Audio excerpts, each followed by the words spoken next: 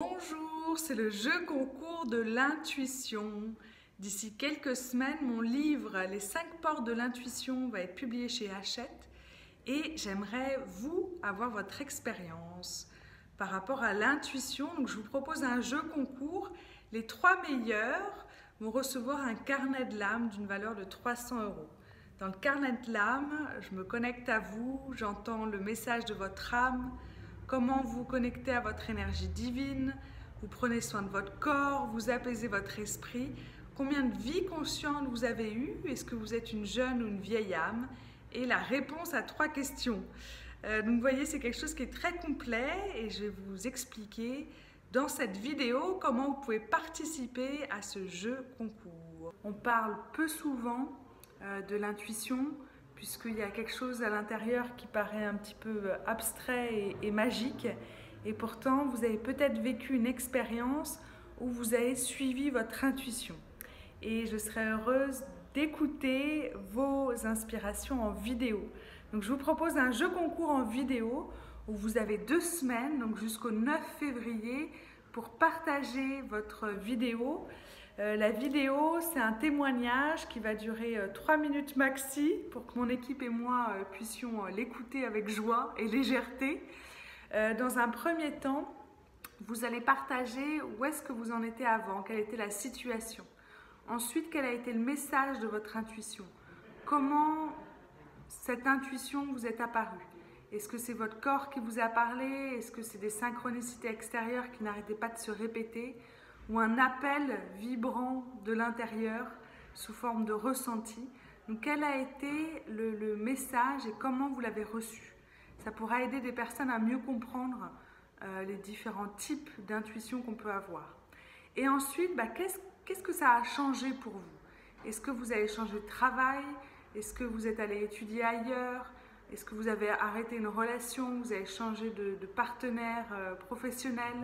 Vous êtes lancé dans un nouveau métier, une nouvelle formation, euh, vous avez décidé de changer peut-être d'appartement, d'acheter, d'emménager dans un nouveau pays. Donc quel a été l'impact pour vous et en quoi ça a changé? Et ensuite savoir bah, quelle a été cette transformation intérieure, en quoi cette nouvelle direction vous a aidé intérieurement? Euh, donc si ça vous tente de participer au jeu concours, vous allez avoir les instructions juste en dessous pour euh, m'envoyer votre vidéo. Vous avez jusqu'au 9 février pour l'envoyer. Et ensuite, on va choisir, mon équipe et moi, les 10 euh, vidéos les plus inspirantes, les plus claires, où vous avez senti, où on a senti cette authenticité à l'intérieur de vous. Ensuite, pendant euh, deux semaines, vous allez pouvoir voter pour la meilleure vidéo.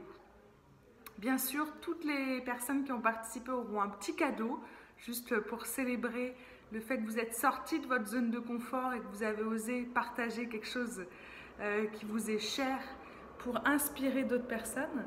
Et donc les dix meilleures, ensuite on va voter pour elles et il en restera trois. Donc celles qui ont eu le plus de votes, vous allez recevoir un carnet de l'âme. Un carnet de l'âme, ça a une valeur de 300 euros.